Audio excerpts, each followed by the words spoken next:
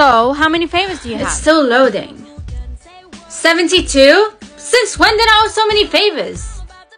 Morning, honey. Morning, mom. I see you got 72 favors. I know. I knew I'd owe a lot of favors, but I didn't know I'd owe this many. Better get started then. Speaking of favors, remember that time I drove you to school? Now you can return me the favor by cleaning the floor. But mom, I'm gonna be late for school. Better get started then. Amara, did you finish the homework? We had homework.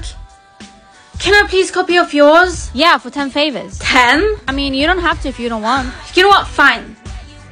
Hey, can I borrow your lipstick? Yeah, for 5 favors. What is wrong with everyone? Can't you just be nice for free? Do you want to borrow it or not? Whatever. Hey, Mom. Your favors, why did they double? You need to start bringing them down. I will next week. You graduate this Friday. You have to have zero favors, otherwise you repeat the year. This Friday? I thought I'd have more time.